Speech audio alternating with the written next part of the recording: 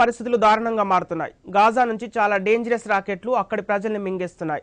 కార్లపై పరుపులు పిల్లల్ని పట్టుకుని తల్లిదండ్రులు బతుకు జీవుడా అంటూ సురక్షిత ప్రాంతాలకు తరలి వెళ్తున్నారు హమాస్ ఉగ్రవాదుల దాడి పాలస్తీనాలోని గాజా ప్రాంతంలోని ప్రజలకు శాపంగా మారాయి. కేవలం ఇరవై నాలుగు గంటల్లో ఉత్తర గాజాను ఖాళీ చేయాలని ఇజ్రాయెల్ స్ట్రాంగ్ వార్నింగ్ ఇవ్వడంతో ప్రజలు అక్కడి నుంచి దక్షిణ వైపు కదిలి వెళ్తున్నారు కార్లపై బట్టలు పరుపులు పెట్టుకొని వెళ్తున్న వాహనాల వీడియోలు సోషల్ మీడియాలో వైరల్గా మారాయి.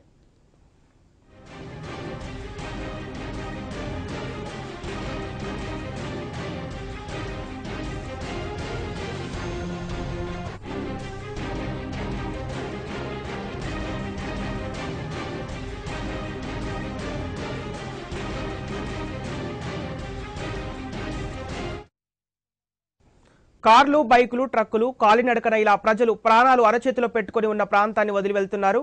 అయితే ఇజ్రాయెల్ ఇచ్చిన స్ట్రాంగ్ వార్నింగ్కు హమాస్ ఉగ్రవాదులు ఉత్తర ప్రాంతాన్ని ఖాళీ చేసేది లేదని మా పాలస్తీనా ప్రజలు ఇజ్రాయెల్ ఆర్డర్ని తిరస్కరిస్తున్నారని ఒక ప్రకటనలో తెలిపారు.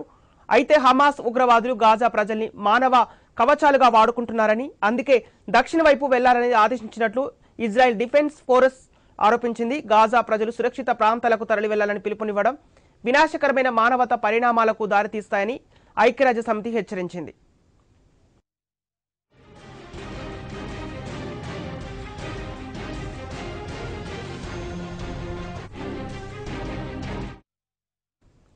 హమాస్ ఉగ్రవాదులు ఇజ్రాయెల్పై రాకెట్లతో దాడి చేశారు. ఇజ్రాయెల్ భూభాగంలోకి ప్రవేశించిన మిలిటెంట్లు మరణ హోమానికి పాల్పడ్డారు.